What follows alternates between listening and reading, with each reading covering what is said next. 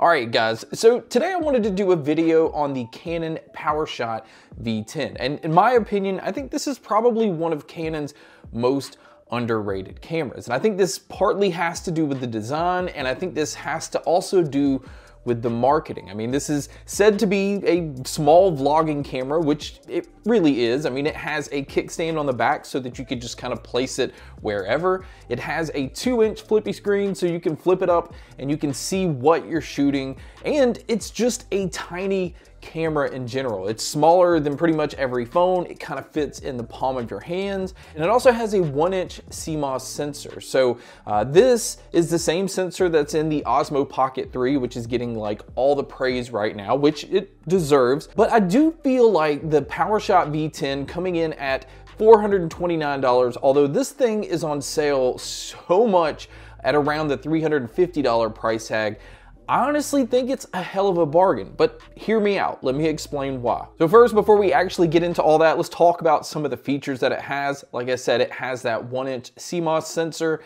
uh, which makes this a camera that is really good in low light. Uh, it also has a built-in ND filter. So if you're gonna be using this outdoors, uh, where with other cameras you normally have to buy ND filters so that you can adjust your shutter speed to match with the frame rate that you're shooting to get this really cinematic look, Having this ND filter already on the camera allows you a lot of controls without needing to buy anything extra. Now the camera does record on micro SD cards and so it doesn't use normal SD cards.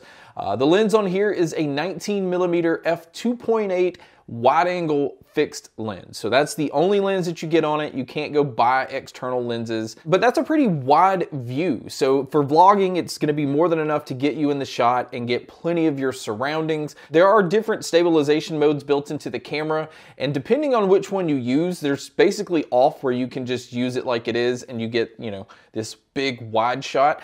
Uh, then you can switch it into normal image stabilization and it crops it in just a little bit. And then you can go into their enhanced stabilization, which crops in even more. And I've seen other YouTubers say that the enhanced mode crops in way too much. And I actually kind of disagree with this. I was still able to hold the camera about an arm's length away, and I still felt like it had plenty of footage of things around me. It wasn't like zoomed in right at my face.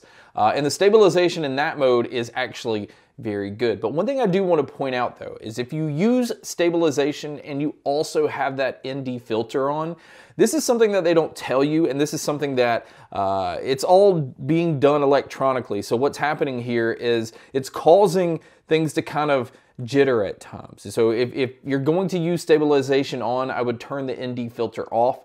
Uh, and I'm one of those that I like to go in and tinker with things, and I think shooting in manual is going to be the best way to get the best looking footage out of here. But this camera is really intended for you to just turn it on auto, hit that record button on the front, and just start recording. It's not really made to be overcomplicated, and this camera is definitely not that. Now, as far as some other things, it does have a battery that's internal. It's not one that you can go and buy extra batteries to switch out. Uh, this is definitely a negative on this camera because if you shoot in 4K, which I do, uh, you can really only expect to get just under an hour's worth of shooting. In fact, I've kind of averaged around 50 to 55 minutes. Uh, so if you shoot at 1080p, you'll be able to get longer battery life, uh, but do keep that in mind. Now another huge plus is you can actually use this camera as a webcam and a damn good webcam at that. Uh, it has Canon's colors, so everything looks nice and vibrant and rich. Uh, it's not oversaturated when it comes to skin tones, and this is just gonna come down to personal preference anyway. Uh, I normally shoot with a Canon EOS RP. Uh, that is my main camera, and I'm using a 35 millimeter f1.8 lens. Uh, but I've noticed that with the V10, I can get a very similar look. Now, because it's 2.8, I don't get as much background separation from, you know, shooting on me as opposed to what's in the background, but the colors and the overall look is very, very similar. So here is just a test to show you what it would look like in a studio environment. This is the exact same lighting uh, that I use for my normal shots uh, on a much more expensive camera and lens combo, where this is just a $429 uh, camera with the lens that is already on it, uh, nothing else applied to it. This is just the footage straight out of the camera. So even using it as a B cam for like product shots uh, can definitely work in my case uh, most of the times. Now, as far as uh, the different formats and things that you can shoot at, I shoot at 4K 24, but this camera shoots up to 4K 30 frames per second. Uh, if you shoot in 1080p, you can actually get up to 60 frames per second. So if you're somebody that likes to slow down your footage and get some really good slow motion, you'd have to shoot in 1080p to actually do this.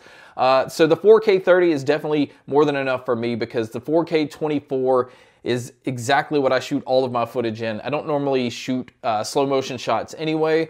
Uh, and the different shooting modes that you actually have, which are just kind of pre-built, I mean, they kind of make this camera as dumbed down as possible, where it's super simple to just shoot. Obviously, it's in the auto mode right out of the gate. Uh, there is also a smooth skin mode that you can shoot in. Uh, there is an image stabilization mode, which I don't get that when you can already turn on stabilization in the other modes. And then there is manual. Now, manual is what I shoot in pretty much all the time. Uh, and to me, it's not really full manual. Now, they have white balance where you can kind of slide it and just see the colors and kind of hope uh, it matches what you want. There's no true custom white balance where with like Canon cameras, uh, you take a photo of a white card or a gray card uh, and then have the custom white balance set. That way, this is me again overthinking things. This is me also probably making it a little more complicated with shooting with this camera.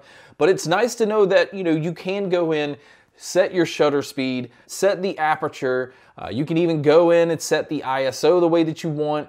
Uh, and I feel like with vlogging, I think the best thing to do is to go ahead and set your shutter speed, set your aperture, let ISO be in auto mode so it can just kind of adjust, you know, depending on where you're at, and also let your white balance adjust as well. I know that's normally not you know, encouraged with most cameras. But with this one, I feel like it's so much better to use it this way than using it in full auto mode. Now, another thing about the camera is it has two microphones up top that I think do an excellent job. I think it picks up my voice very well. Uh, there's also three little dots under the Canon logo, and this is a microphone that's made to kind of block out some external noise. So it really is trying to focus in on your voice uh, and do a good job of blocking out things around you. And for the most part, uh, it handles this extremely well. So this is me just walking around the house. Uh, the camera's like an arm's length away. Now the stabilization is on enhanced mode. So this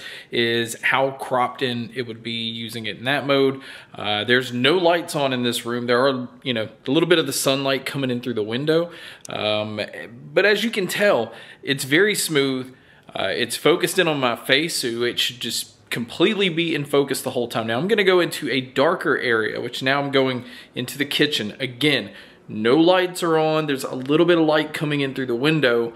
But you can see that this is easily a camera that you could just walk around and vlog with. And I think it's pretty inconspicuous. It's not one of those you have to worry that it's going to draw a lot of attention. You don't have to have the huge gimbal.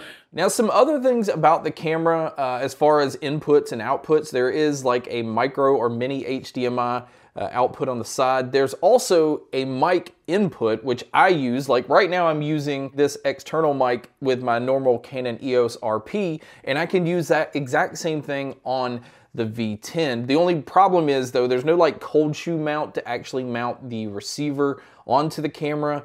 Uh, there is a small rig case that you can buy that would actually give you the ability to have that cold shoe mount. And it also comes with like two wind muffs to put on the microphones if you're gonna be using this camera outdoors like on a windy day. Now I do feel like the wind muffs is something that Canon should have included in the box with the camera.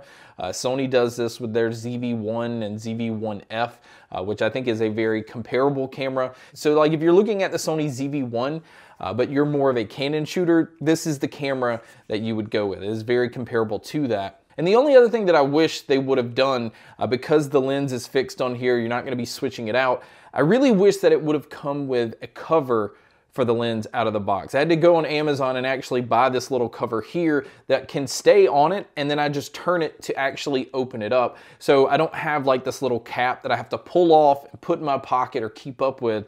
Uh, the cover is actually on the camera at all times. And it does add a little bit more bulk to the camera, but not really much at all, especially given the fact that it's keeping my lens protected. And I'll link this in the description along with the camera itself.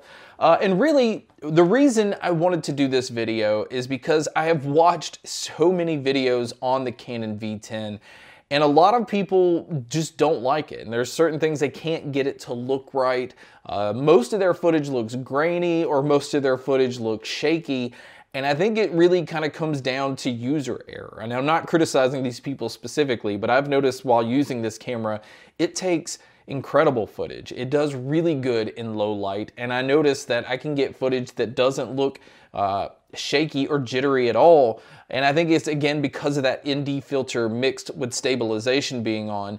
And that just kind of comes down to Canon not really explaining some of these things or having some of the auto features not really just work well out of the box. So it does take a little bit of tinkering to get the right footage, but once you do and you find the settings that work for you, this is a very capable camera that can take some really, really good video. Uh, but guys, I just, Again, this kind of wraps up this video. I think the cons, the main things here is the battery life does suck on this camera. Uh, don't expect to get a whole lot of shooting time on it. Uh, no cold shoe mount on here is also kind of a bummer, especially when you have a mic input already built in on the camera. So you do have to buy something extra to keep the transmitter or the mic actually locked in onto the camera. Again, it is, you know, marketed as a vlogging camera, but you know, you can use a camera like this as a studio cam. If you're getting started with YouTube and you just need a camera that you don't want to spend a whole lot of money uh, you may do some vlogging.